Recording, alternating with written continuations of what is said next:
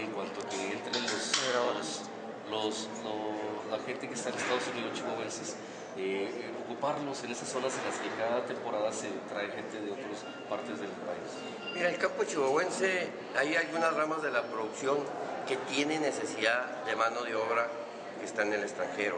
A lo mejor no tengamos la capacidad económica los, para pagar los sueldos que en Estados Unidos los productores, pero tenemos las hortalizas que generan mucho empleo todo el año, la fruticultura, la manzana, la cosecha de la nuez, en fin, eh, genera empleo desde la siembra hasta la cosecha de las hortalizas, de las legumbres.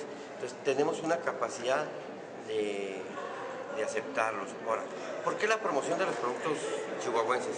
Porque no es justo que nos tengamos barreras en Estados Unidos para que no consuman nuestros productos cárnicos de, de los becerros de Chihuahua.